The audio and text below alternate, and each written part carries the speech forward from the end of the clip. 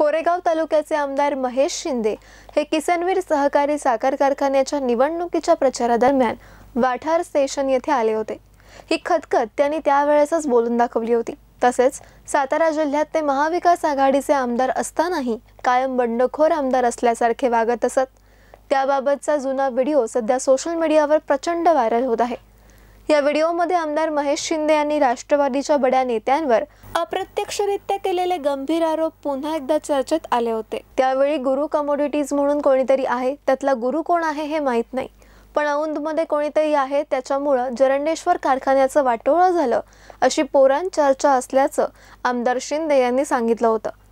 ज्या कारागिरांनी ताजमहाल बांधला त्यांचे हात कलम करण्यात आले तसंच इथेही झालं. कारखान्याच्या नावाखाली सत्तावीस हजार शेतकऱ्यांची मुंडकीत छाटली असंही शिंदे म्हणाले होते. आमचे ग्रामीण भागातले प्रश्न फार वेगळे आहेत. आमचे प्रश्न हे सामान्य जनतेला न्याय देण्याचे आमच्या पुढचा यक्ष प्रश्न एकच आहे. जर्डेश्वरचे शेअर्स आमचे कधी येतील आणि आम्हाला कधी तो कारखाना हातात मिळेल?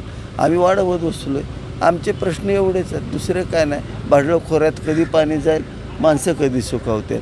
या पोरांना रोजगार कधी मिळेल? एवढे प्रश्न आम्ही लढणारी माणसं. आपलं काय म्हणणं की जर्डेश्वरचं वाटोळं कोणी केलं? ज्यांनी गेलेला त्यांनीच केलं.